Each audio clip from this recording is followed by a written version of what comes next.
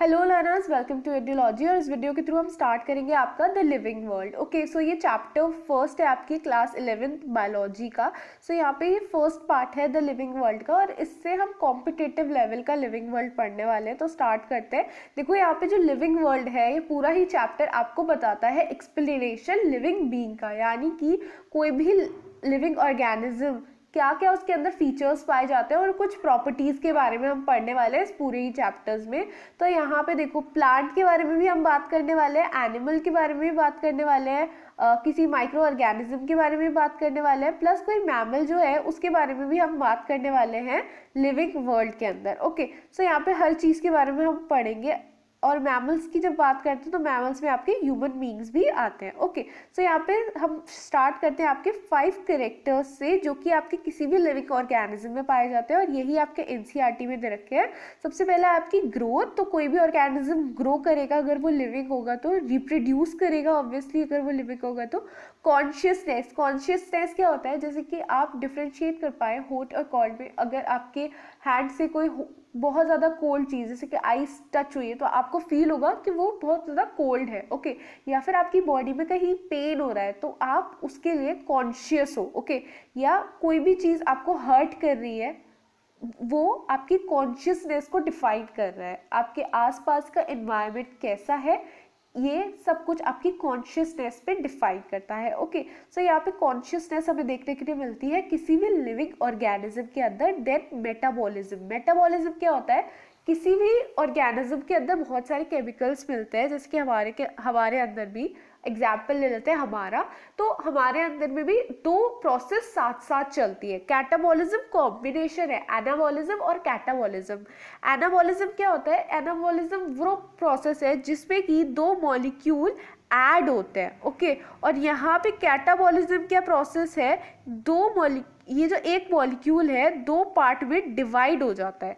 तो कैटाबॉलिज्म तो कटिंग का काम हो गया और एनाबॉलिज्म क्या हो गया? एडिशन का काम हो गया। ओके सो एडिशन होगा तो इट इज़ एनाबॉलिज्म और कैटाबॉलिज्म क्या है? कटिंग सो so, यहाँ पे दोनों का कॉम्बिनेशन आपको बता रहा है मेटाबॉलिज्म तो कोई भी ऑर्गेनिज्म हो लिविंग ऑर्गेनिज्म उसके अंदर हमें क्या देखने के लिए मिलता है? Metabolism then ability to self replicate और सेल ऑर्गेनाइजेशन यानी कि कोई भी ऑर्गेनिज्म सेल्फ रेप्लिकेट करेगा और उसके अंदर एक अच्छा खासा सेल ऑर्गेनाइजेशन मिल रहा है यानी कि हर सेल का एक पर्टिकुलर फ़ंक्शन है और वो एक पर्टिकुलर स्पेस में डिवाइड कर रहा है। ओके सो so, आपको यहाँ देखने के लिए मिलता है। अब हम एक एक फीचर को अच्छी तरीके से पढ़ लेते हैं। स्टार्ट करते हैं ग्रोथ से। सो so, कोई भी ऑर्गेनिज्म ग्रो करता है डिफरेंट अलग अलग तरीके से।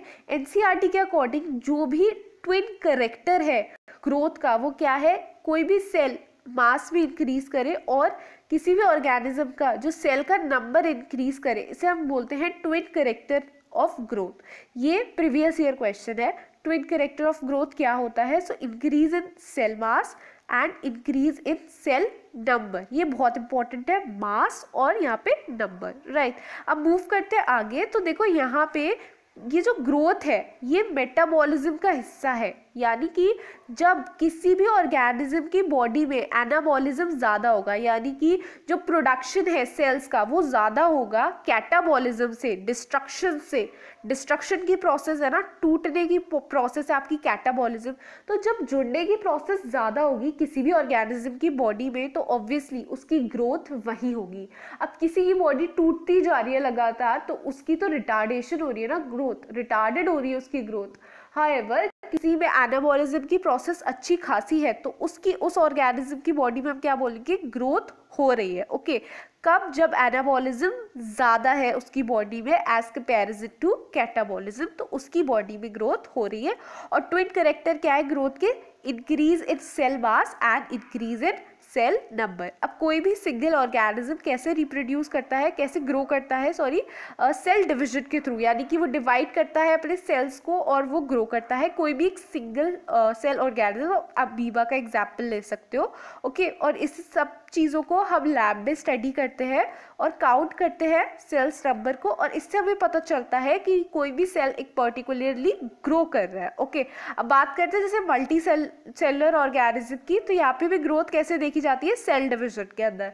हम अपनी बात कर लेते हैं ह्यूमन बीक्स के अंदर। ह्यूमन बीक्स के अंदर भी कैसे देखी जाती है सेल ग्रोथ सेल डिविजन से ओके सेल डिविजन साइकिल हर किसी ऑर्गेनिज्म में चलती है ओके okay? हर लिविंग ऑर्गेनिज्म में चलती है अब यहाँ पे प्लांट्स के लिए अगर मैं बोलूँ प्लांट्स कैसे ग्रो करते हैं तो यहाँ पे एक सेल मिलता है प्लांट्स के पास, जिसे हम बोलते हैं मेरिस्टेम। ये मेरिस्टेम सेल्स के अंदर ऐसी प्रॉपर्टी होती है जो कि प्लांट्स कंटिन्यूसली अपनी होल लाइफ तक ग्रो करते रहते हैं, लगातार।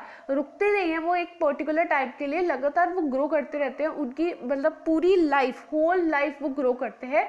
लेकिन कौन से पॉइंट से? मेरिस्टेम पॉइंट से। अब ये तीन अलग अलग जगह पे प्लांट के मेरिस्टेम प्रेजेंट रहता है जहाँ से प्लांट ग्रो करता है ओके? सो so, एक होता है आपका एपिकल मेरिस्टेम एक होता है आपका इंटर कैलरी मेरिस्टेम और एक होता है आपका लेटरल मेरिस्टेम एपिकल पेरिस्टेम आपका पीक पे होता है एकदम।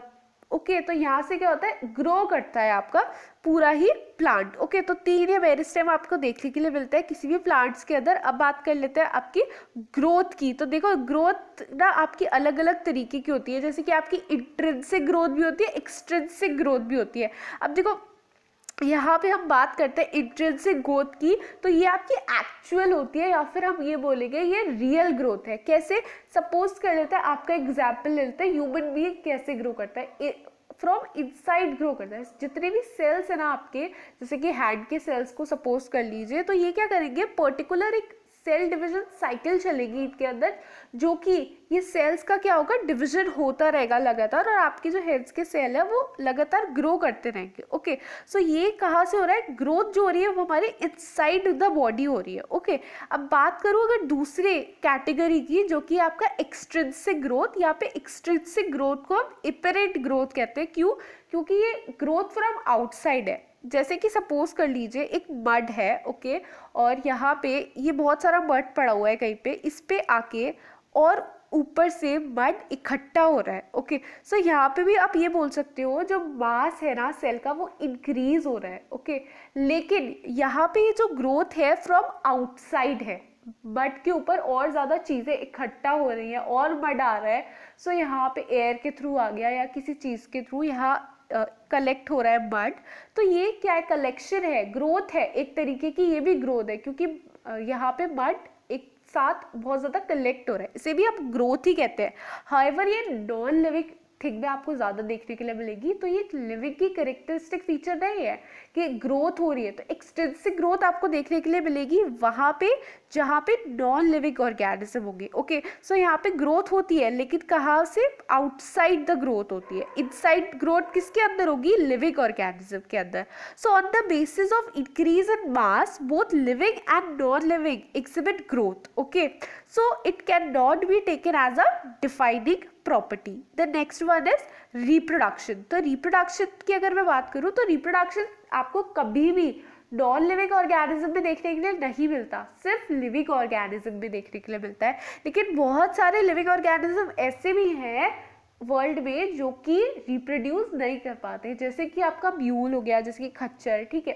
सो so, ये म्यूल या फिर हिदी ये सारे क्या है? म्यूल और हिदी आपके इंटरब्रीडिंग इंटर स्पेसिफिक हाइब्रिडाइजेशन का पार्ट है। ओके okay, सो so, ये क्या कर ये तो रिप्रोड्यूस नहीं कर पाते ये स्टेराइल होते हैं।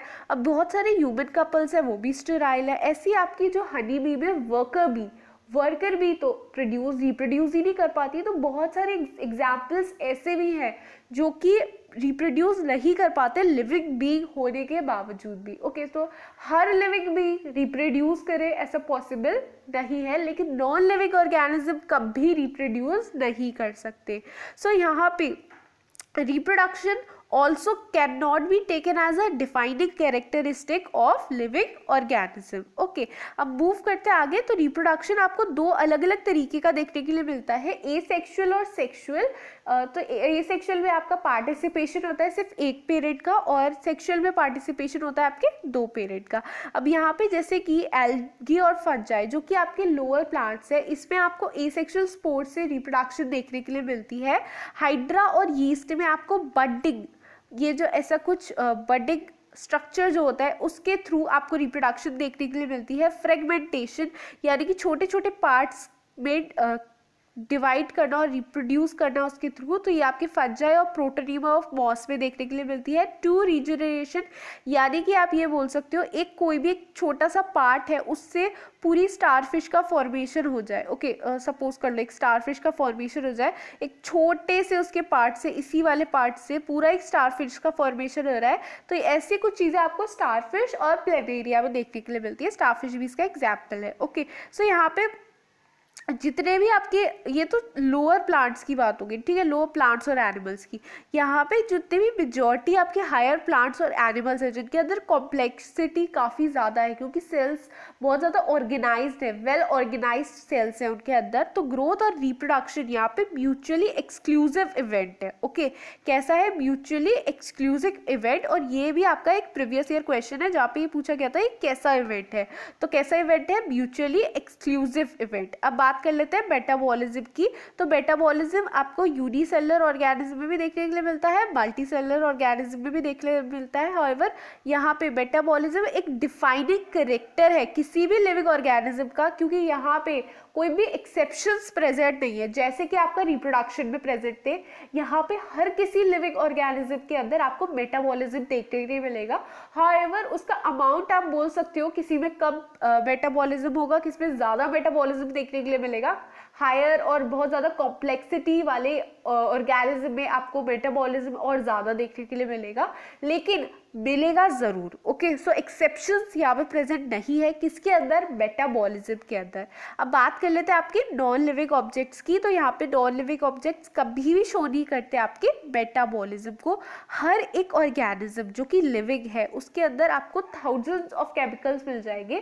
जैसे कि अगर आप डाइजेशन का ले लो तो डाइजेशन में ही आपका अगर पूरा आप डाइजेशन पढ़ते हो तो आपको बहुत सारे केमिकल्स पढ़ने के लिए मिलते हैं ओके आपकी पूरी बॉडी में बहुत सारे केमिकल्स प्रेजेंट है। ऐसी अगर बात करूँ प्लांट्स की तो प्लांट्स के अंदर भी बहुत सारे केमिकल्स मिलते हैं प्रेजेंट जो कि photosynthesis respiration transcription transpiration इन सारी चीज़ों में उनका पार्ट है। बहुत इंपॉर्टेंट रोल प्ले करते हैं ग्लूटेशन की प्रोसेस होती है।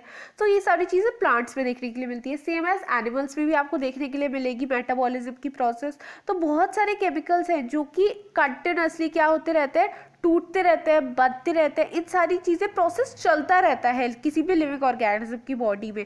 तो ये किसका पार्ट है आपका? मेटाबॉलिज्म का। तो जितना भी the sum total of all reactions occur inside the body of an organism is called metabolism okay so the next one is cellular organization. Cellular organization मतलब कोई भी आपका जो सेल है, कोई भी ऑर्गेनिज्म है, वो स्टार्ट करता है एक सिंगल सेल से।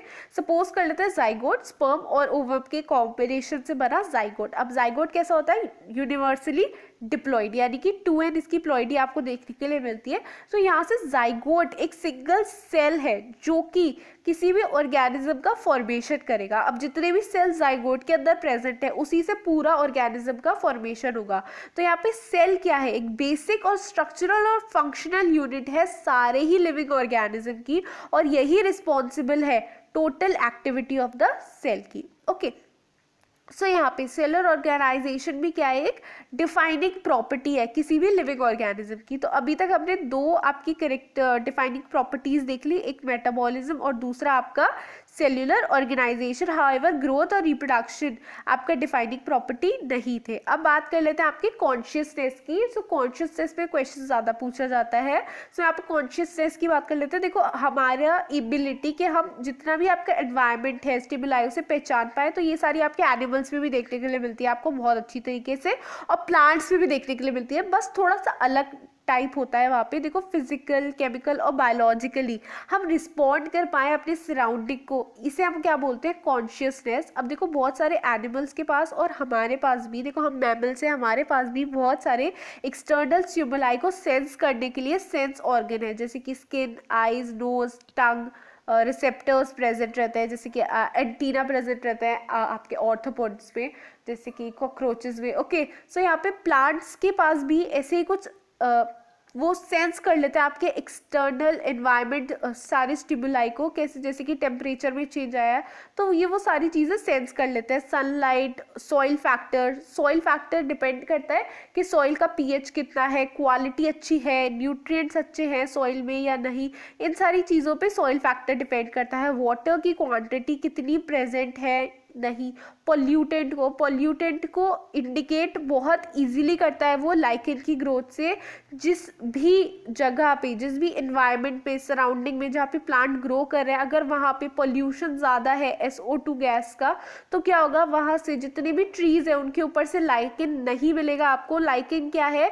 म्यूचुअलिज्म है आपका एलगी और फंजाई का। ओके फंजाई और एलगी का म्यूचुअलिज्म है। यानी कि दोनों फंजाई और एलगी एक साथ रहती है और एक साथ पूरा प्रोडक्शन करती है पूरे प्लांट की बार्क को कवर कर लेती है और ग्रोथ करती है। तो इसे हम क्या बोलते हैं? लाइकिन ओके और आपका बार्क कैसा हो जाता है? वाइट हो जाता है, क्योंकि लाइकिन वाइट कलर का होता है। ओके अब यहाँ पे ऐसी आपका प्लांट जो है टच मी नॉट जिसका नाम है botanical name it is mimosa pudica तो मिमोसा पुडिका में आपको ये देखने के लिए मिलता है जैसे ही आप उसे टच करोगे टच मी नॉट जिस प्लांट का नाम है सो so, क्या होता है वो ईजिली श्रिंक कर जाता है बहुत जल्दी से श्रिंक कर जाता है तो ये सारी मूवमेंट्स आपको देखने के लिए मिलती है ये आपका रिस्पॉन्डिंग करेक्टर है आपके प्लांट्स का कॉन्शियसनेस जो कि आपके प्लांट्स में मिल रही है, ऐसी जो अगर बात करूँ ह्यूमन बींग्स की तो ह्यूमन बींग्स में बहुत ज़्यादा आपको कॉन्शियसनेस देखने के लिए मिलती है क्योंकि हमारा जो नर्वस सिस्टम है, वो बहुत ज़्यादा वेल डेवलप्ड है और हमारे पास लाइक कम्युनिकेशनल स्किल भी बहुत ज़्यादा अच्छे हैं। क्यों? क्योंकि हमारे पास कॉम्प्लेक्सिटी है आपके सारी ही सेल्स में और इसीलिए हमारे पास सेल्फ कॉन्शियसनेस प्रेजेंट है. हाइवर आपके दूसरे लिविंग ऑर्गेनिज्म में self consciousness self consciousness present नहीं है. हाइवर ह्यूमंस के अंदर आपको सेल्फ कॉन्शियसनेस की प्रॉपर्टी देखने के लिए मिलती है. यहाँ पे जितने भी लिविंग ऑर्गेनिज्म है वो सेल्फ एप्लीकेटिंग है इवॉल्विंग है सेल्फ रेगुलेटिंग है इंटरक्टिव सिस्टम रखते हैं एक्सटर्नल स्टिमुलाई के साथ. ओके okay, अडेप्टेशन कुछ शो करते हैं. होम्योस्टेसिस होम्योस्टेसिस मतलब अपने एनवायरनमेंट जितना भी आपका इंटरनल एनवायरनमेंट है बॉडी के अंदर का एनवायरनमेंट उसे कांस्टेंट रखने की कोशिश करते हैं। ओके होम्योस्टेसिस की जो प्रॉपर्टी है, वो प्ले करते हैं। अब यहाँ पे प्लांट्स और एनिमल्स के लिए, जैसे कि सनलाइट है ओके और सनलाइट जितनी भी क्रिटिकल अमाउंट मिलता है डे टाइम में डे टाइम में जितना भी सनलाइट का, उस पर डिपेंड करता है उनके रिप्रोडक्शन का फैक्टर ओके जैसे उसी टाइम में वो फ्लावरिंग शो करेंगे, अगर वो प्लांट्स हैं तो और उसी टाइम में एनिमल्स दिखेंगे बाहर उस टाइम में, जिस टाइम में उनका फ़ोटो पीरियड है तो। तो फ़ोटो पीरियड क्या होता है? क्रिटिकल अमाउंट होता है कोई भी डे लेंथ का, जहाँ पे कोई भी वो एक्टिविटी करते हैं एनिमल्स हो या फिर वो प्लांट्स हो ओके रिप्रोडक्शन की सीजनल पीरियड में। अब यहाँ पे फ़ोटो पीरियोडिज्म क्या है? जो कि अफेक्ट करता है डे लेंथ को फ्लावरिंग प्लांट्स की। तो इसके लिए हम बात कर रहे हैं सबसे पहले फ़ोटो पीरियोडिज्म फ्लावरिंग के लिए। तो फ्लावरिंग अफेक्ट होती है आपकी सनलाइट से ओके सो यहाँ पे आपके तीन तरीके के प्लांट्स आपको देखने के लिए मिलते हैं। सबसे पहला है आपका लॉन्ग डे प्लांट जो कि आपको शॉर्ट नाइट प्लांट जिन्हें हम बोलते हैं, इन, ये इनका जो मेन एग्ज़ाम्पल है वो है समर ऑर्नामेंटल दूसरा है आपका शॉर्ट डे प्लांट यानी कि वो दिन में बहुत कम फ्लावरिंग शो करेंगे, रात को फ्लावरिंग ज़्यादा शो करेंगे। तो समर वाले प्लांट तो ऐसे हैं, जो कि रात को फ्लावरिंग कम शो करते हैं और दिन में फ्लावरिंग ज़्यादा शो करते हैं। ओके यहाँ पे शॉर्ट डे प्लांट में आपका आता है विंटर ऑर्नामेंटल। इसका एग्ज़ाम्पल है डे न्यूट्रल प्लांट कौन से होते हैं जो कि उन पे डिपेंड नहीं करता यानी कि वो एकदम सही सही आपको रात में भी फ्लावरिंग दे सकते हैं दिन में भी फ्लावरिंग दे सकते हैं। ओके दिन में ज़्यादातर फ्लावरिंग करते हैं वो रात को नहीं करते। सो so, इसका एग्ज़ाम्पल क्या है आपका? टोमेटो ओके सो ये तीन अलग अलग टाइप्स के प्लांट्स थे आपके day long day plant short day plant और डे न्यूट्रल प्लांट देन आपके ऐसे ही एनिमल्स का क्लासिफिकेशन है on the basis of photoperiodism यानी कि फ़ोटो पीरियोडिज्म के बेसिस पे आपका चार uh, पाँच अलग अलग क्लासिफिकेशन है एनिमल्स का. सबसे पहले आते हैं आपके diurnal plant diurnal plant वो प्लांट uh, वो एनिमल्स जो कि आपके एक्टिव रहते हैं during day time day time में जो कि एक्टिव रहते हैं तो ज़्यादातर जितने भी एनिमल्स आपके पास आसपास दिखते हैं आपको, वो डायूरियल होते हैं. ओके देन आपके आते हैं नॉक्टर्नल नॉक्टर्नल यानी वो एनिमल्स जो कि आपके रात को एक्टिव रहते हैं. जैसे कि मोस्ट इंपॉर्टेंट एग्ज़ाम्पल नॉक्टर्नल आपके मस्कीटोज भी हो सकते हैं कुछ कुछ मस्कीटोज आपके नॉक्टर्नल होते हैं और कॉकरोचेस कॉकरोचेस कैसे होते हैं? आपके नॉक्टर्नल एनिमल है. देन आपका third one is auroral animal auroral animal कौन से होते हैं आपके? Active during the dawn. तो ये ड्रॉन टाइम में, यानी कि सनसेट, सन राइज से पहले पहले जितना भी टाइम होता है, उस टाइम में ये बिल्कुल एक्टिव रहते हैं। तो ट्यूलाइट जिसे हम बोलते हैं, टाइम विंग, उस टाइम में ये एक्टिव रहते हैं ऑरियुलर वाले आपके animals. Then vesperal vesperal animal active रहते हैं ड्यूरिंग डस्क। डस्क टाइम क्या होता है? आपका सनसेट हो गया। सनसेट के बाद मिड नाइट तक। जितना भी टाइमिंग है, उसे हम क्या बोलते हैं? डस्क तो डस्क के टाइमिंग में जो एनिमल्स एक्टिव रहते हैं, वो होते हैं आपके वेस्पिरल एनिमल्स एंड क्रस्पेस्कुलर ये आपके एनिमल्स वो वाले हैं जो कि एक्टिव रहते हैं during the time of dawn and dusk okay तो इस टाइम पीरियड के बीच ये क्या रहते हैं? एक्टिव रहते हैं आपके एनिमल्स जो कि क्रस्पेस्कुलर है। ओके देन ये वाले एनिमल्स हमने अच्छी तरीके से पढ़ लिए तो यहाँ पे जितने भी आपके ऑर्गेनिज्म हैं अवेयर रहते हैं आपके एक्सटर्नल स्टिमुलाई से, अपने एक्सटर्नल स्टिमुलाई से और सराउंडिंग से, और जो ह्यूमन बींग है सिर्फ़ ऐसे हैं जो कि सेल्फ कॉन्शियसनेस की प्रॉपर्टी रखते हैं ओके और इसलिए कॉन्शियसनेस क्या है? एक डिफाइनिंग प्रॉपर्टी है किसी भी लिविंग ऑर्गेनिज्म की। तो कोई पेशेंट अगर कोमा में है और सपोर्ट कर रखा है हमने उसे मशीन से, जैसे कि वेंटिलेटर से, और उसका जो लाइक रिप्लेस कर दिया गया हार्ट और लंग तो उसमें कोई सेल्फ कॉन्शियसनेस नहीं है ओके सो इसे हम क्या बोलेंगे कि वो जो पेशेंट है वो सपोज़ टू बी डेड कि वो एकदम डेड है, क्योंकि उसके अंदर सेल्फ कॉन्शियसनेस की प्रॉपर्टी नहीं है और सेल्फ कॉन्शियसनेस किसमें होती है? लिविंग ऑर्गेनिज्म में होती है। इसलिए हम क्या बोलेंगे वो जो ऑर्गेनिज्म है ना, वो डेड है और ये वाला जो क्वेश्चन है वो 2016 में आ चुका है। ओके okay, आपके एग्ज़ाम में तो ये पूछा गया था उसको हम क्या बोलेंगे? मतलब वो उसे सपोज़ टू डेथ बोलेंगे या उसे बोलेंगे कि वो सर्वाइव कर रहा है और उसके अंदर वो एक लिविंग ऑर्गेनिज्म है। तो हम क्या बोलेंगे? It's suppose to be dead okay so ये आपके एनसीईआरटी e की लाइन थी। सो आई होप ये वाला जो पार्ट था ये पार्ट वन था। नेक्स्ट पार्ट में हम कवर अप करेंगे आपके पूरे ही लाइक like, कैसे आपका पूरा हिरारकी आपको देखने के लिए मिलता है द लिविंग ऑर्गेनिज्म में।